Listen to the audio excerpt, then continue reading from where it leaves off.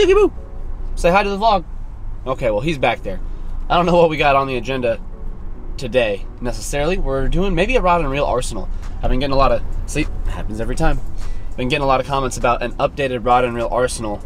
I've got a few, a handful of new like rods, and right now I'm actually at Field and Stream. There's a guy here who services reels out here in the Prosper Field and Stream and Dick's Sporting Goods. I'm picking up the Scorpion Man. I don't think you guys have seen this reel in like over a year on the vlogs, but it's literally like our favorite reel. It's our first DC reel. And the video of its like first impressions got more views than I think any of my other fishing videos.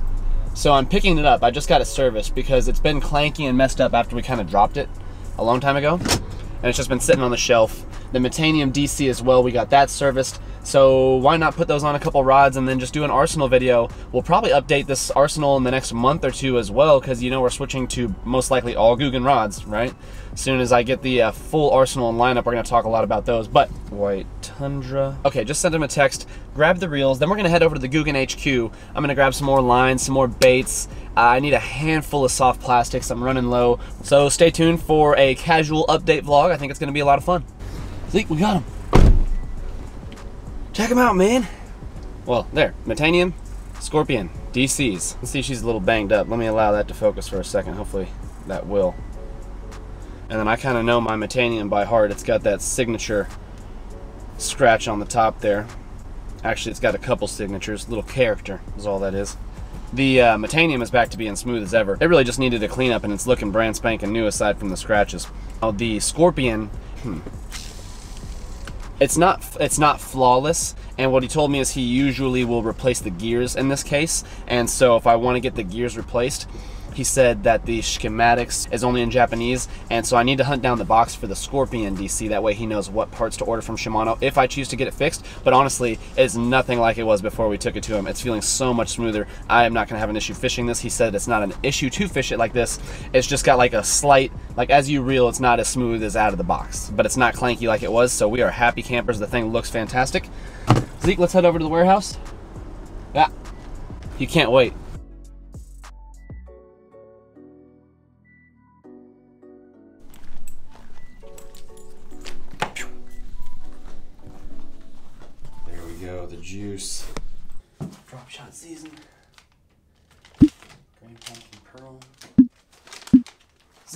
Gotta grab some grande clutches. There we go. Got some goodies. It's all you.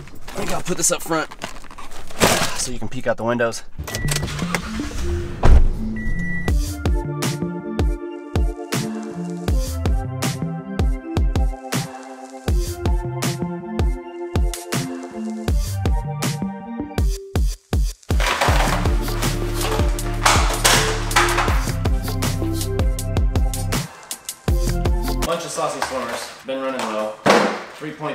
Trailers. Got some more pre-release Googan Toads. Color you guys haven't seen me throw yet, Fire Crawl. Grande clutch. This is my first Grande clutch. I've been enjoying those mini clutches. I had to get a handful of line because we pretty much need to spool up every reel in the arsenal, but we got those two without anything that are just fresh off the service. I got two 50 pound braid packages.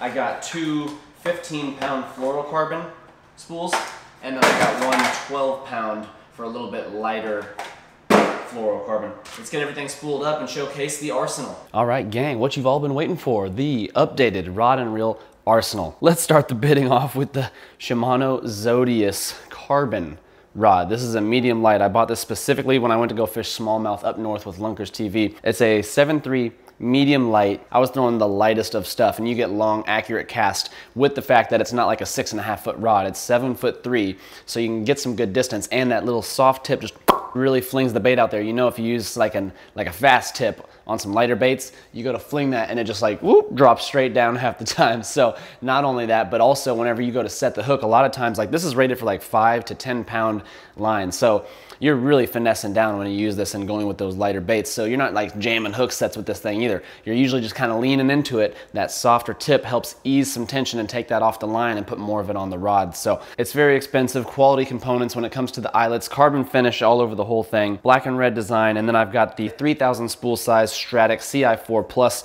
We have two Stradics, uh, and you'll notice this one's got more of like the power handle on it versus the traditional handle on the, I think it's a 2000, but we'll get to that in just a second. So first rod and reel. Now where am I gonna set all these? Oh boy, some stuff's about to break. Next up guys, first of all, don't forget to turn all your notifications on because I'm gonna drop a new rod and reel arsenal sometime here in the near future. What's going on is I'm making a transition to all of the new Googan Squad Gold and Green Series rods. I have a lot of rods just like this one that were early prototypes from the Googan Squad. So we'll cover them, but a lot of them came to us as blanks. I was just kind of handed a handful. This guy right here, I wanna say is possibly like a seven foot two uh, medium action rod and it's paired up with a Shimano Sienna reel. I believe I got this thing for like 30 bucks from Fun and Sun. Great starter reel, 2500 spool size. We needed an extra spinning rod and reel combo at the time, so we went ahead and picked this guy up. I believe we've got 15 pound braid on this, and then I would assume this is like an eight or 10 pound leader. Here we have the brand new Googan Green Series finesse rod. I believe this is the seven footer, two piece measuring tape on the side so you can measure your catches. This one here is probably gonna be my go-to finesse setup for a little while. It's got the 2500 Shimano Stradic on there, the CI4 Plus model with that standard handle versus the power on the other. I've got a drop shot tied on here. So in that hook keeper on the bottom, I actually keep the weight from the drop shot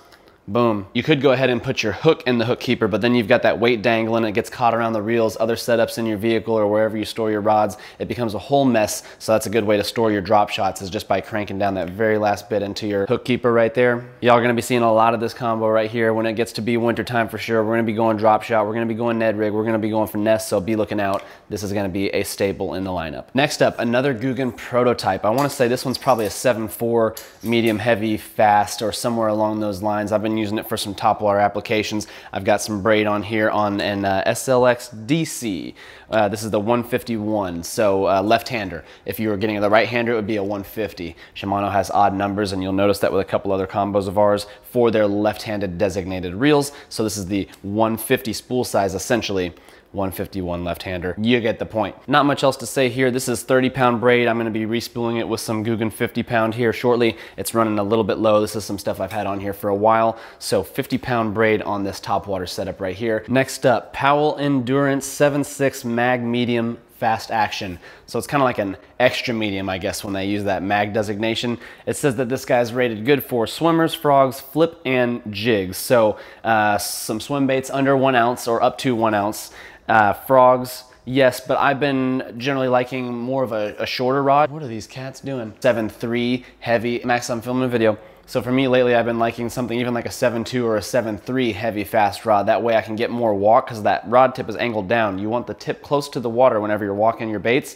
And so the 7.6 kind of gets in the way sometimes. So yes, it does say use it for frogs. And yes, you can get some long cast bombing into the pads and you can really rip them through the thick stuff with the extra length here. But I do like a little bit shorter rod for walking some frogs. So just point that out. It's also rated for some jigs as well. So uh, we have got 15 pound fluorocarbon on a Curado K. I would say we've been using this a lot lately for those 4.8 inch saucy swimmers. That's been a big time hit this fall. Cork grip sensitivity on these rods has been fantastic all across those Powell Endurances. And also it's got the hook keeper right here on the top. Next up, we have the freshly serviced and back in action Scorpion DC. One of our favorite reels, man. It's import only. If you guys want to pick this thing up, I have an Amazon link to it down in the description. It's very exclusive. Less people have this than more like the Curados and all the stuff you can buy around here in stores nowadays now that they've gained popularity. It also has iDC5, like the more very expensive Metanium DC. And so you're getting that for under 300 bucks. I would say if you want to try just one DC and you're willing to spend a little bit of money, I would go with the Scorpion right here. With that being said, we've got it spooled up with some, this might be 12 pound, but it might be uh, 15 pound fluorocarbon here. And uh, we got a crankbait tied on. I think this is like a 7.3 medium fast tip rod. So this is not ideal for a moving bait like this.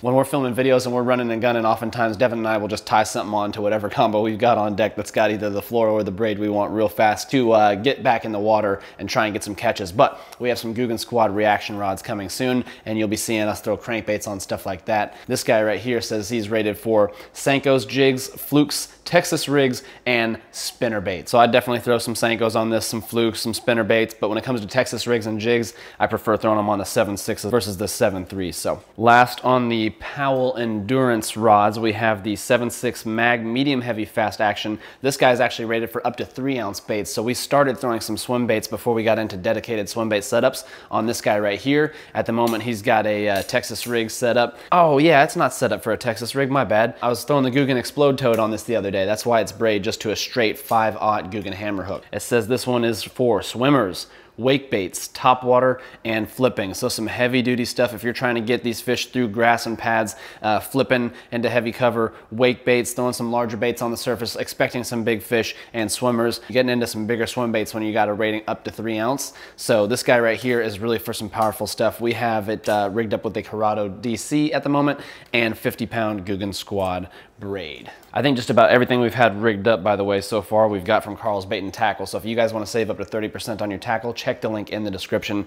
Let's get to the next combo. All right, y'all, we're almost to the heavy artillery, the big swim bait gear, and our one Googan Gold rod that we have at the moment. Let's talk about these last two Googan prototype rods. I won't mention much about the rods. Uh, I think they're both like 7.3 to 7.4 medium heavies right here. We've got a Texas rig on one, a jig on the other, but the reels, we just got this bad boy service. This is our Metanium DC, our highest dollar reel, I think, at the moment. I think it came in at like a cool 450 buckaroos from Fun and Sun Boats when they had a sale on it. It's regularly like a $500 reel. I bought this originally to do some reviews, to do some talking points, first impressions, and these cats are going crazy and really just invest into the channel, showcase it for you guys and maybe provide some information that you find helpful to maybe go purchase one of these if it's something you're looking for. With that being said, I don't recommend going out and spending this much money just because a lot of folks have made this reel sound like it's all that in a bag of chips. It is great if you're out there fishing tournaments. If you're really in it and you want the best of performance and reliability, go with something like this. It's got a smaller spool. So the Metanium DC, y'all, I wanna say this is in the, uh, it might be the XG if I'm not mistaken. I think we got the extra high gear ratio on that guy. And then I've got an SLX XT right here. This is, uh, I think, the most affordable Shimano casting reel we have and I really like this one. So if you guys are looking to get into Shimano I would uh, I would go for something like the SLX XT 100% uh, 140 bucks you might even be able to find it cheaper like 130 maybe 120 if you got a sale going somewhere. And it's got a clean like satin finish. The the SLX DC has a matte finish. It almost looks like cheaper even though it's a little bit higher dollar it's just their entry-level DC reel to get you guys in there getting the DC system getting backlashes when they say you won't different braking system I believe the XT is centrifugal or centrifugal versus even like the standard, even cheaper SLX, which I believe is just the traditional magnetic braking. And then the DC, of course, has got the uh, digital chip in there that kind of like gauges 1,000 times per second what your bait is doing and adjusts the brakes for you. You'll still get some backlashes. I really like the SLX XT. Anyways, guys, we've got it spooled up with uh, 15 pound fluorocarbon at the moment. And that is that. Also 15 pound on the Metanium DC. Recently spooled up, recently serviced, and back in action. Closing in on the finish line, guys, let's go ahead and talk about the Googan Gold Rod, and then we're gonna just get to the swim bait setups, and we are done like dinner, boys. This is the Googan Squad Gold Series twitch rod. Ideal for jerk baits and even some walking top water baits if you've got some treble hooks on there. Perfect for working those jerk baits and walking baits because like I said, I like that shorter rod. You can angle this one down at the water a little bit more. Having that rod tip down is gonna be best when you're working those jerk baits, best when you're working those walking top waters. And so with that, this guy is a 6'9 medium moderate. It's something different for me. I haven't thrown anything like shorter than a 7'2 medium heavy in the longest, but after getting this in my hands and working some jerk baits with this thing, uh, I definitely prefer the shorter size, especially just off the boat on the bank. You don't have that rod tip kind of pointed up more to work those baits. When you're working a jerk bait, you're not trying to like pop it up out of the water. You're trying to work it down. And then the same with those walking baits. Of course, that tip closer to the water is going to help you get that proper walk. So Googan Squad Twitch Rod. Been absolutely loving it. And we've got the Scorpion MGL, another imported reel that has got so many questions over time, like on our Instagram post. The thing is absolutely a beauty. Link down in the description if you want to help support the channel. Consider purchasing the reel through that Amazon link. We earn a small commission anytime you guys use those links, which helps us purchase more things to do review and cool videos for y'all. We're definitely looking forward to the full lineup. We want the muscle, we want the reaction. We need the reaction rod because we've got a reaction bait tied on this thing. Devin and I were going for an MTB slam the other day day. And like I said, we just tie on whatever's got the right line so that we can start filming. But the things are light and durable, gonna stand up. Beautiful construction, beautiful look. I really like the Gold Series. And I look forward to showcasing the full lineup here very soon on the next Rod and Reel Arsenal. Let's talk to you guys about the big setups. All right, y'all, we're talking big baits now. And this is a large bait indeed, almost a four ounce bait. And with that comes some heavy artillery. So we have got a TranX 400 with the power handle. You absolutely don't need this. Devin and I, when we purchased it, had musky fishing in in mind. We had some saltwater fishing in mind. In fact, we're gonna be using this on a trip to Florida coming up soon. Again, notifications, turn those things on if you wanna see these new vids drop. So, TranX 400, and uh, we've got 25 pound Seaguar AbrazX on this guy right here. Eight foot, heavy, fast, 20 to 40 pound line, four to eight ounce lure recommendations. So you can really chunk out the big stuff on this. And Devin and I, this was our first swim bait rod. We purchased it for $40 used on Facebook Marketplace, guys. Absolutely what you wanna do when you're getting into some bigger baits. The rods get very expensive, like we're gonna showcase here in just a second. We've got a couple behind us that are kind of our go-to swim bait setups now, but we did not spend all this money to get started. And you don't need to spend all the money we've spent on gear. This is between my wife and I, an investment into the channel. Don't think you gotta start off with expensive gear. Devin and I bought 40 $40 combos when we first started these fishing vlogs and that was like expensive to us. I'm like, you can spend more than $20 on a rod and reel. I just couldn't imagine even buying a $50 combo at first and look at us a few years later. This is what it's come to. Uh, but you pay for quality and reliability with these reels, hands down. I've had many others that we've used early on break on us that were like in that uh, 25 to 75, oh, 25 to $100 range. We went through quite a few reels. And so once we've got on, once we got on the Shimano train, it's just been no looking back. We are happy to pay the premium up front knowing that they will last. When it comes to rods, same thing. I wouldn't go all out in the very beginning and get the most high dollar setups out there just because other people are using them. The fact is, you won't notice the difference if you're new at fishing. Once you've been fishing for a little while, then you can appreciate a higher quality blank that's a little bit lighter, more sensitive, less weight. You can appreciate some of these things. You don't need to worry about it off the start. So that is my little rant on the uh, amount of money you should be spending when you first get into this stuff, guys. Don't go crazy with your spending. So we're talking about the last combos now, but just back on that point, a lot of these reels have even helped pay for themselves just from the videos we've made. So as we make videos and they get those views and you earn an income off of those views, a lot of it is because we're doing a specific review to to a rod or a reel and that helps recoup some of that money spent. So it's easy to think we just spent a ton of money on gear. Don't want you to get that impression. With that being said, we have accumulated quite the lot of gear these last few years. So last but not least is really uh, just a duplicate the same combo. We've got our Mojo Bass A-Rig and swim bait rods uh, by St. Croix.